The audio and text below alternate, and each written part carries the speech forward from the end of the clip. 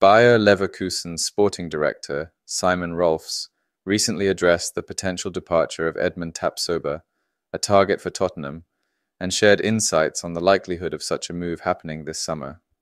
Simon Rolfes told the press, No, not under normal circumstances. Obviously, there's a certain point where it becomes impossible to turn down an offer. But Edmond is a very important player. What do you guys think about this potential transfer? Comment down below.